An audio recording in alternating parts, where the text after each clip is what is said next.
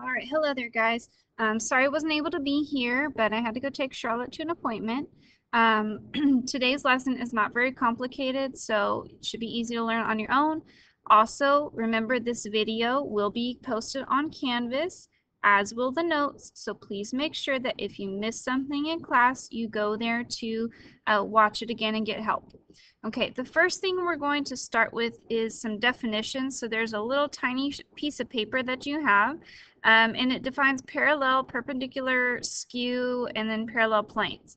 So parallel lines are lines that are in the same plane that never intersect. So they run right next to each other, one right next to the other.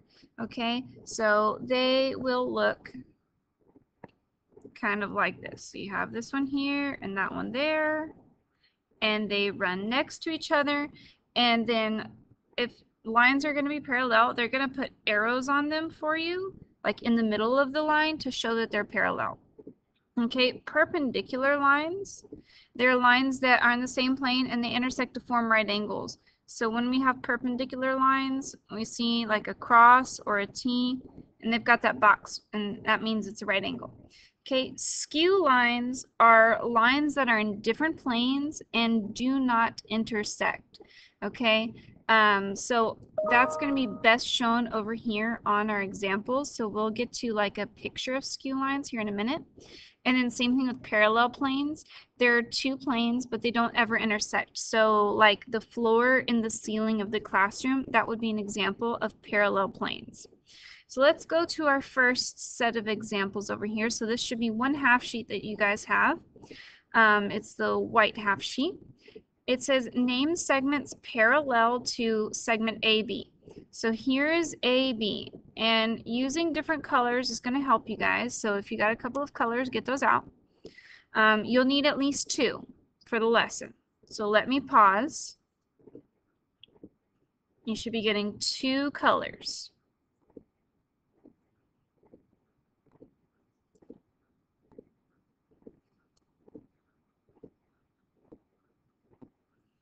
Okay, so parallel to AB. So here's AB. Now parallel means it's going to run in the same direction as AB and never ever cross it. So parallel ones would be CD. Okay, also GH. And then finally FE. So those would be parallel to AB. Okay, Next one, it says name the segments that are perpendicular to EF. So I'm going to change colors really quick. So EF, that's down here on the bottom. Okay, now perpendicular means it's going to be making a right angle. And this is a rectangular prism, so everything that's going to intersect EF is going to be at a right angle. So EH is perpendicular to it. Okay, also we have AE because it's going to intersect there at E. So AE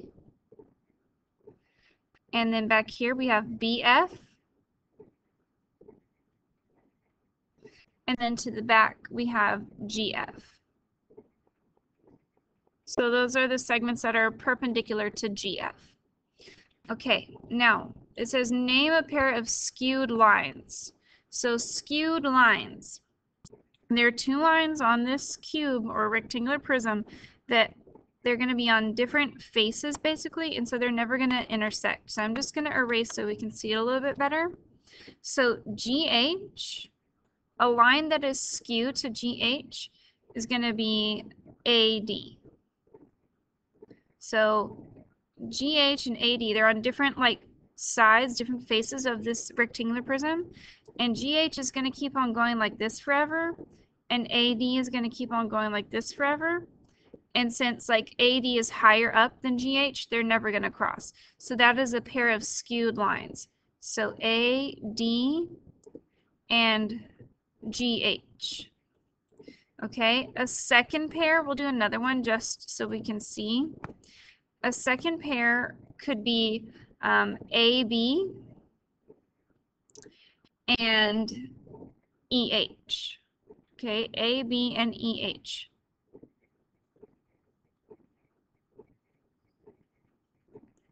So they're basically kind of like lines on different levels, if you think of it that way. All right, and then the next part, says name a pair of parallel planes. So parallel planes, they're just planes, so sides of this, whole faces of this rectangular prism, and we want parallel, so we want them to run right next to each other. So if we do the top one, okay, so plane A, B, C, D,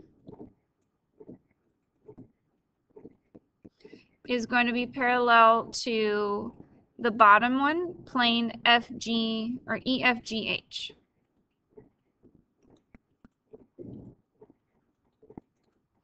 So your top and your bottom planes, they are parallel. It's like the top and the bottom of a box. They never meet. They run right next to each other. Okay, now to get to this stuff here, we're going to have to go to our other half sheet.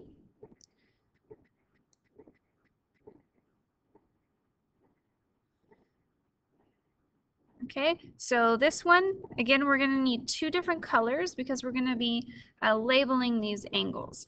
So up here at the top, there are different names uh, for the angles. Okay, the first one that we're going to go with is alternate interior.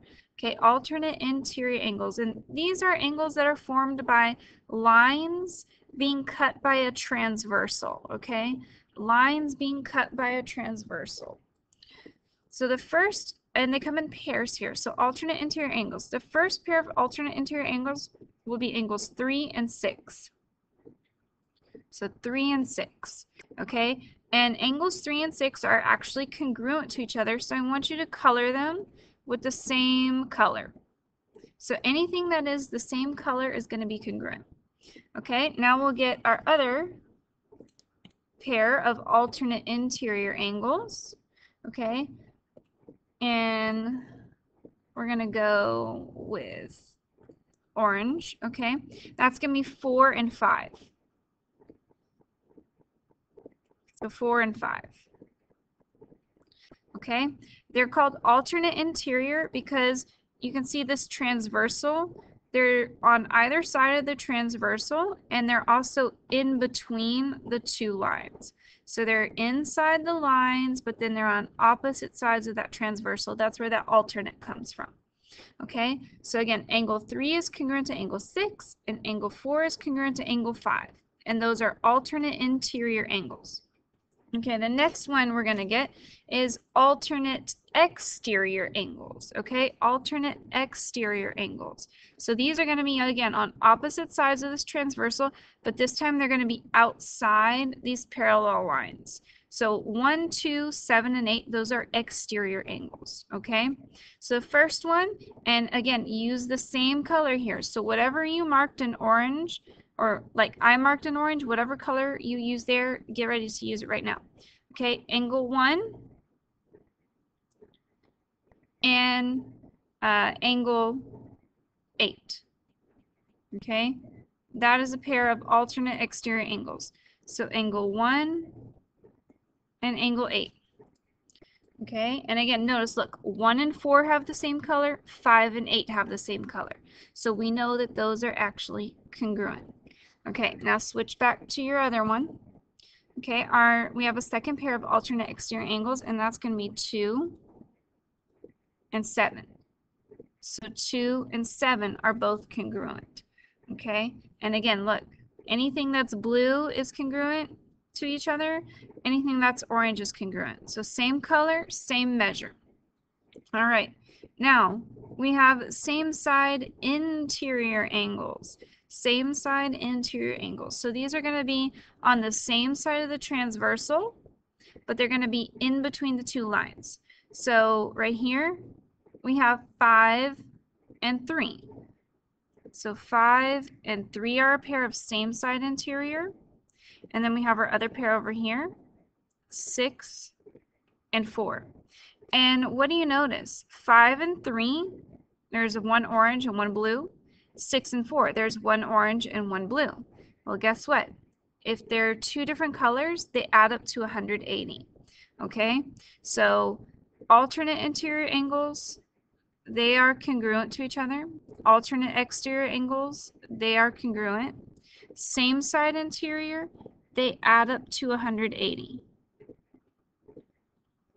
Okay. All right, next one, same side exterior. So again, this is the same thing. They're on the same side of the transversal, but this time they're outside.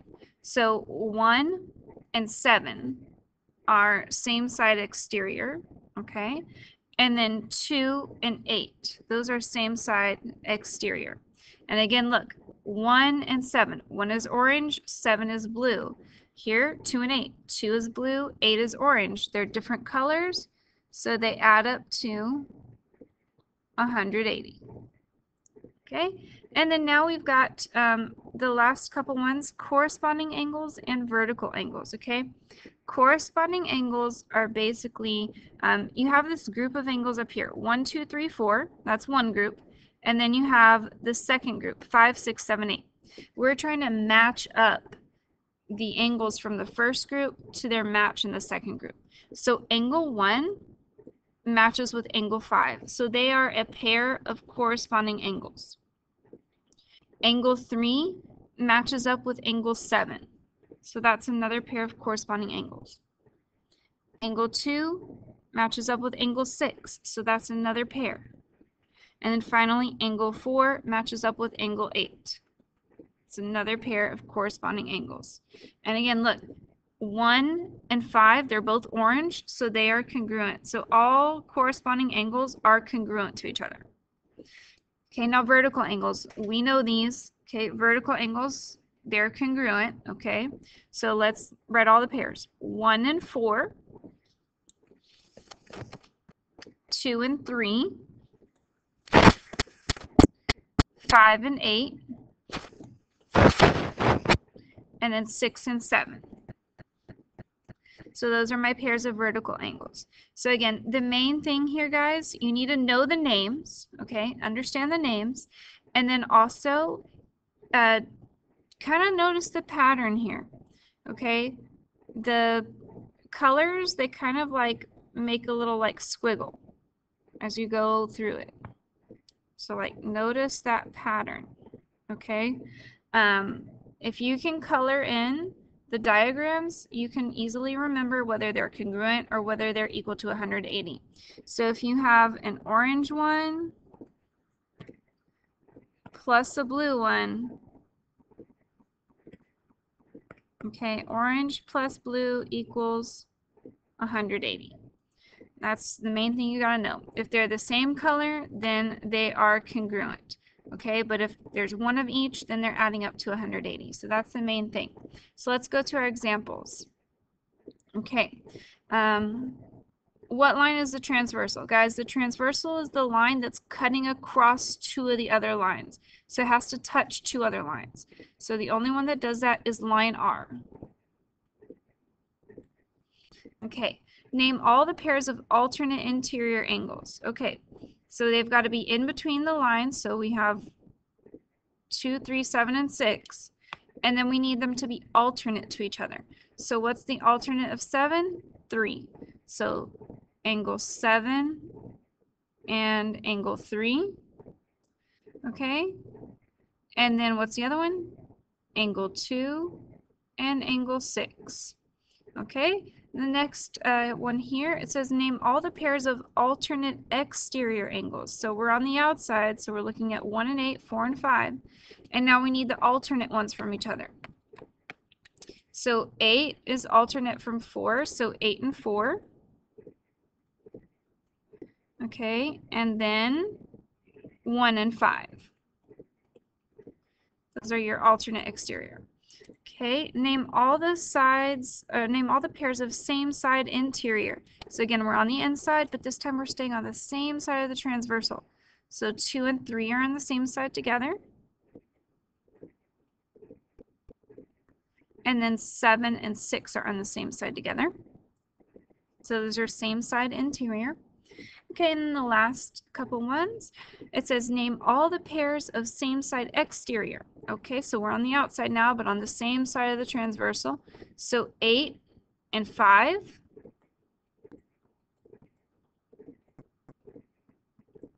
And then 1 and 4. Okay, and then the very last one very last one here. Name all the pairs of corresponding angles. And remember, there's four pairs of corresponding angles. So angle 1 corresponds to angle 3. So 1 and 3. Okay. 2 corresponds to 4. 8 corresponds to 6. And then 7 corresponds to 5. Okay, so those are all the matches. So now what you guys got to do is go to the assignment, use our definitions for parallel, perpendicular, skew, um, also all these angle names, and then just identify. Okay, today we're not worrying about whether they add up to 180 or if they're congruent on the uh, angles with the transversal, but we got to know that for later. So again, this is on Canvas. If you have questions, you need to go back and watch it again. Okay, if you don't understand still, guys, there's millions of videos on YouTube that you can look up. Parallel lines cut by a transversal. Okay, all these notes will be on Canvas. Make sure you've got it down. We're going to turn in the assignment uh, when I see you guys on Thursday. All right, bye.